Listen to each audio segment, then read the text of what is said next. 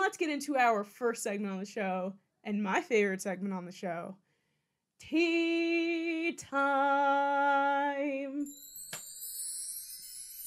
Tea Time is my favorite segment on the show because we delve into the hot, steamy gossip of the sports world. And this week, long overdue, so long overdue, to talk about the Houston Texans. There is an astronomical amount of drama happening in Houston right now, and I don't know why I wasn't talking about it before. I knew there was the whole Deshaun Watson things and everything that's going on there, um, and obviously that's a major part of it but there's so many other things happening as well. So I want to talk about all of it right now. So let's let's like backtrack a bit and start from the beginning. So the big thing here was the fact that Deshaun Watson, quarterback of the Houston Texans, came out with like four wins last season, not good whatsoever. Just not a good thing. There was a video that came out of him and JJ Watt coming off of the field JJ saying that he was so sorry that he wasted one of his years in the NFL. Really, really, you know, deep stuff there. And Deshaun, obviously, you know, he's been there for a little bit now. The Texans love him. The fans love him. He's one of the best young quarterbacks in this league, to be quite honest with you. I mean, when he went down with that ACL injury years ago, I think it was his first year in the NFL, I was like, oh my goodness, I am devastated because I really liked Deshaun Watson. So now what happened was there was all this controversy happening with the coaching and the GMs and who's getting fired and who's getting hired. The organization told Deshaun that he was going to be consulted in finding the new general manager for the Texans. Apparently, that was a straight up lie, and they just went out, hired a new GM, didn't consult Deshaun at all, and that made him extremely angry. So um, that was like the big thing that's happened there. Nick Caserio from the New England Patriots was hired as the GM, and um, that that was one of the main things that happened here.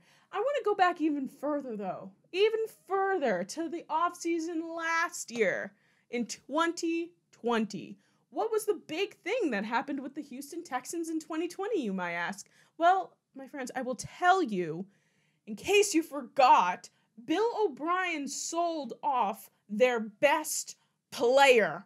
They gave away De- uh, DeAndre Hopkins to the Arizona Cardinals for next to nothing, like worst trade of all time. And Deshaun was pissed off to lose DeAndre Hopkins. And we saw him at Arizona just balling out every single week, just doing insanely, insanely amazing things. So that was probably what sparked that fire. And then when Bill O'Brien was fired, I was, you know, they maybe they thought it was going to get better, but that whole front office and the whole coaching, and you know, the whole thing going on there, not great. So that is um another anger level, if you will, for Deshaun Watson. And now after the whole GM thing and everything that's going on, which we'll get into in just a second, uh, Deshaun has come out with this tweet, petty, petty tweet um, that basically said like they told me that my anger level was at a two. Now I'm at a ten. Like I'm done. And there's no way he's playing for the Houston Texans next year. Absolutely zero chance. They've been calling him, they've been leaving him messages. He's been ghosting them. He's been ghosting the hell out of the Texans, which is so petty, but we love it. So, this thing that I started reading about when I was looking up kind of the timeline of what was going on with Deshaun Watson. I didn't know about any of this, what I'm about to tell you. I this is all brand new information to me. Jack Est- Easterby, I believe is how you say his name. He is the executive vice president of football operations for the Houston Texans. He is part of the reason why Deshaun is so angry with this entire front office. And this guy is very weirdly um kind of guilting people into keeping his job. So this guy Easterby, Easterby or Asterby, I think it's Easterby, was a youth pastor back in the day. He was a, you know a religious man, which we have no problems with. You know, I am a Catholic. I have no problems with people who are religious. But this guy seems to be using it to his advantage. So apparently he came into the league years ago, many, many years ago, back when the whole Aaron Hernandez thing was going down in New England. And um and not just like in the organization, but obviously all of the crimes that he was committing as well. They brought in this guy, this youth pastor, to kind of be like a you know, someone that the the players can go to to talk about how their image, their the way they portray themselves, the way they feel, you know, a kind of spiritual thing, which is pretty good to as a as a thing to have for these players to go to.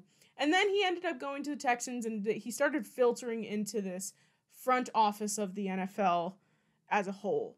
And the Texans apparently have not been able to get rid of him, mostly because he will um like grab people's hands and be like, "Oh, pray with me," um, to talk about like you know what's what's going on and and the decisions we're about to make. And a lot of times he did this when he knew his job was on the line when it was very possible that he would lose his job. And when this new gm this year was hired nick caserio there was a lot of talks that this guy easterby was going to be fired. And he did the same thing. Now still has his job and will not be fired. And this has sent deshaun through the roof. He is pissed as just oh holy hell to throw a, a pun in there. He is just the thing is i think i read something else that said easterby would go into team meetings and be like deshaun is the best deshaun is this deshaun is fantastic we love deshaun we love deshaun we love deshaun and would say nothing about any of the other players. And deshaun didn't like that. He was like we're a team. While i am a quarterback and i'm leading this offense i have other people on this team that i need you to you know, kind of bring to light to show that they are not just some other person. Like it's not just me on this team. And they butted heads. He didn't like him. And when he found out that Easterby was not going to be fired, Deshaun, as I think, has officially tapped out. And that's when I was saying, like, he's ghosting them. He's not talking to the Texans at all. He's looking for a new place.